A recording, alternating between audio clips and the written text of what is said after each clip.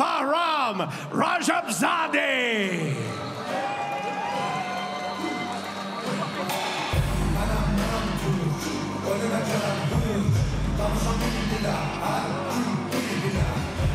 Bahram Rajabzadeh.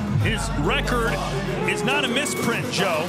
He's only lost once in his career, and it came against one of Glory's best fighters. Yeah, it was uh, Sergey Masloboyev, one of the top contenders, you know, in the light heavyweight division. But Rajabzadeh is all about power. He wants to come in, throw some kicks, try to take you out. But he's known for his power and fearlessness is one of his main keys. He doesn't think he, he does not think he's going to have much trouble with Luis Tavares. His English is limited, but we said, "What are you going to do in this fight?" He goes, "Knock him out." Yeah, simple. That's his game plan.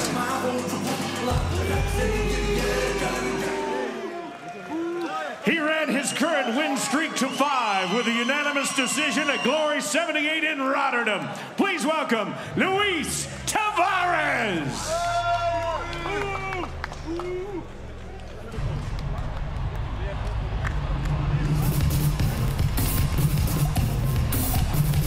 Luis Tavares was supposed to compete in that four-man, one-night heavyweight tournament that was won by Cookie Osaro, but a last-minute injury prevented him from being in it. Yeah, so now he's returning here tonight, and he's got a big fight here ahead of him. I mean, Tavares is an experienced Glory veteran.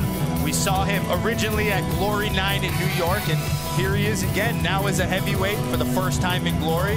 He has fought outside of Glory as a heavyweight, and even has a win over Jafar Wilnis as a heavyweight. He's, you know, he's got that frame where he can still move well, kick well. I saw him hitting pads during fight week. He looks sharp. Well, he should have a speed advantage considering he's moving up in weight, and we know he was pretty fast as a light heavyweight. Yeah, I mean, Rajabzadeh is a light heavyweight as well. That's when we saw him against Masloboyev. So they're both light heavyweights moving up to heavyweight. So I still think we're going to see bigger power now. The bigger you are, the more weight you have. So I'm going to see some big, heavy exchanges a lifelong Feyenoord fan, and you know he's on cloud nine after the season they've had, especially against their rival Ajax of Amsterdam. I know our good friend Dennis Corman might be watching right now, so our apologies. The number one Ajax fan in the world.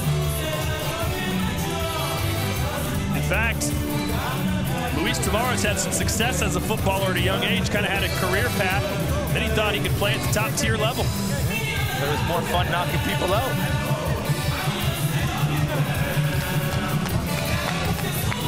Here's our Unibet tale of the tape. Heavyweight division, Luis Tavares, 63 and 8, ladies and gentlemen, taking on Bahram Rajabzadeh, who's only lost once, 57 and 1, both men 31 years old. Tavares two inches taller with a three inch reach advantage. With the professional experience, the edge going to Tavares, but like we said, Rajabzadeh only has one loss but this is only his second glory fight where we know Tavares has been here and he's a veteran, so that's got to give him a big edge. All right, now my keys to glory for this fantastic fight for Tavares. He's got to use his distance control and timing. He's got these sharp eyes. He's got to kind of use angles, mix his levels, and he's a great kicker, so I want to see him mix his kicks with his boxing. For Rajabzadeh, he's all about forward pressure. He can't just start swinging. He needs to set up that power, and his kick fighting needs to come into play. He needs to chop the legs and mix levels with him.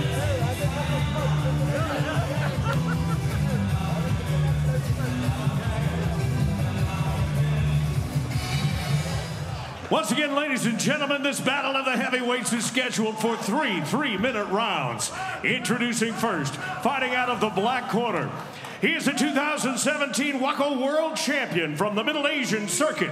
As a professional, 61 wins with just one career loss, and 55 of those wins have come by way of knockout.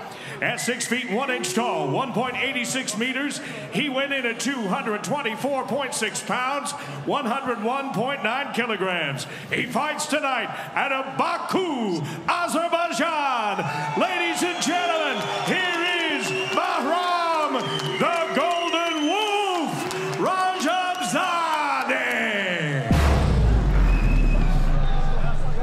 Here now is his opponent fighting out of the white corner, a two-division European champion who will make his glory heavyweight debut tonight.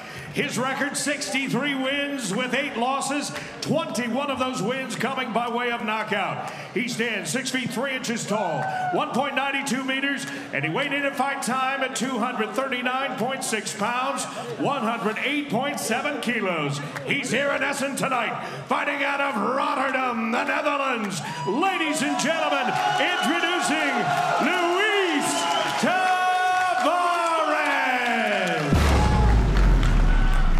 referee in charge of this bout is Edward Strikert.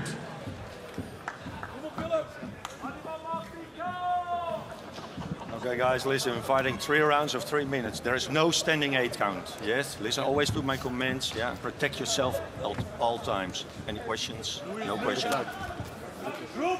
I sold him short on the record earlier. I said he was 57 and 1. He's 61 and 1. 61 and 1, yeah, 55 knockouts. When it gets Judge. that high, you lose Judge. track. Judge, oh. But he's in for a Time. big test tonight as Luis Tavares fights as a heavyweight for the first time in glory. Rajabzadeh in the green trunks, Tavares in the black.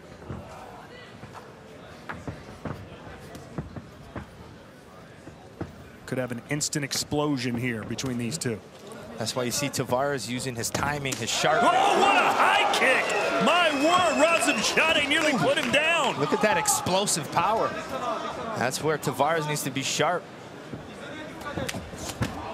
Talked about the quickness of, of Tavares. Rajabzadeh, lightning fast.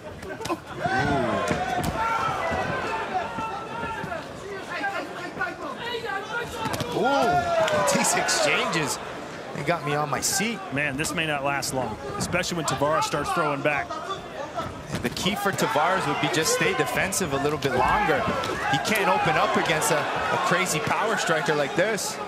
Boy, Rajabzadeh looking like a world beater so far. That quick power and counter is just impressive right now. Tavares needs to weather the storm a bit. I got an idea. How about we put Uku against the winner of this fight? Winner goes to the Grand Prix. There you go. Todd Grisham's contender tournament. Hey, it's fun to think about this stuff. I'm sure our fans at home are doing the same thing as Rajabzadeh throws a knee. Of course, there's two wild card spots. that Glory can throw in anybody they want.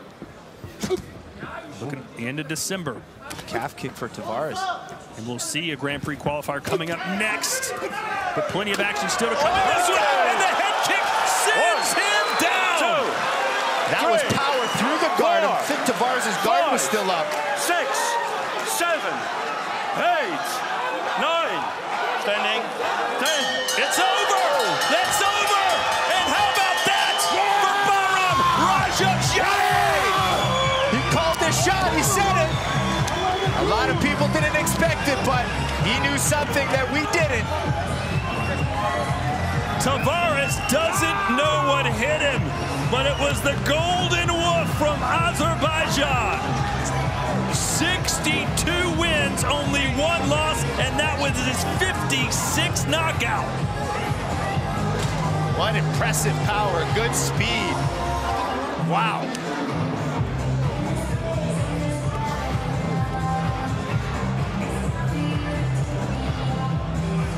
Thought Rajabzadeh might win this fight, but not like that. No, I mean, the way he came out, look at that speed, the power, the confidence. I mean, he just came in knowing that this was going to happen. He wasn't intimidated, just came in there and blasted away. He showed him the head kick early in the round and then got him again late. Oh, look, that's even through the guard. That's how much power he has. Tavares' hands were still up, but was able to still knock him out. And imagine if this was the eight-man Grand Prix and Rajabzadeh gets a first-round knockout, doesn't break a sweat, he'd be set up perfectly for the Final Four. Yeah, there you go. I mean, just that's the style. Perfect tournament style fighter if you're going to come up blasting with speed and power like that. Incredible KO ratio, 56 knockouts and 62 wins. Since his last glory fight, he won the World Games in the United States and went 4-0 in pro fights. I mean, this guy is a fighting machine. Yeah, he's definitely lived up to that, that the name and the, the power. I mean, a lot of people say they're going to come and knock you out, but man, that was impressive. 31 years old. Azerbaijan may be part of that next generation of glory. We saw Kwasi, Chico Kwasi earlier. We saw Enriko Kehl. Some upsets tonight. Joe promised us some earlier, and we are seeing them. Rajabzadeh with a head kick to beat Luis Tavares. Keep in mind, Tavares has 71 pro fights himself. That's only his ninth loss. You can see the faces on the trainers. They just can't believe what happened.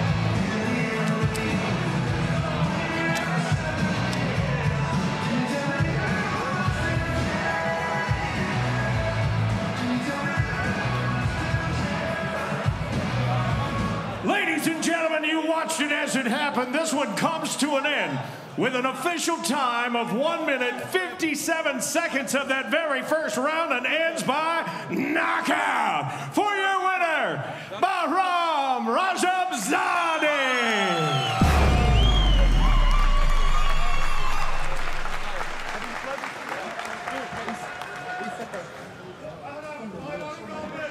All right, I'm here with your winner, Bahram Rajabzadeh.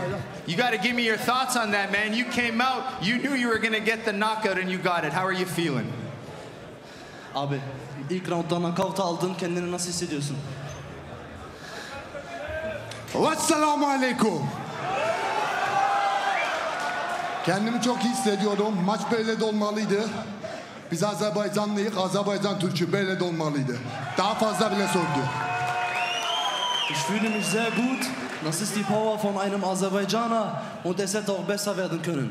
All right, we're going to take a look at some of your action here. It was fast, it was quick, it was powerful, very impressive. Take me through what was happening. Again please. Take me through how you were feeling. What happened here? What was going on in your mind? Neler hissettin? Ne düşünüyorsun? Yani çok fazla bir şey düşünmedim. Olması gereken şeydi zaten. Böyle de olmalıydı. Ben eee, bunlar için düşünmüyorum ya. Ben daha büyük kemer falan düşünüyorum. Bunlar benim için daha çerez gibi bir şey. Ich denke nicht viel nach über diese Situation. Ich habe das getan, was getan werden musste. Meine Ziele sind viel weiter oben. I did what I can. This was my best try. And my uh, targets are much higher than this. All right, well, you did a great job, and we look forward to seeing you again. Let's hear it for your winner, Bahram.